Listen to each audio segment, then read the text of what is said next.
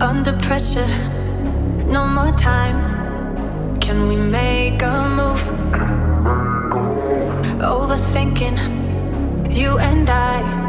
What do we have to lose? Cause I'm wasting all my time thinking of the things we could do. If you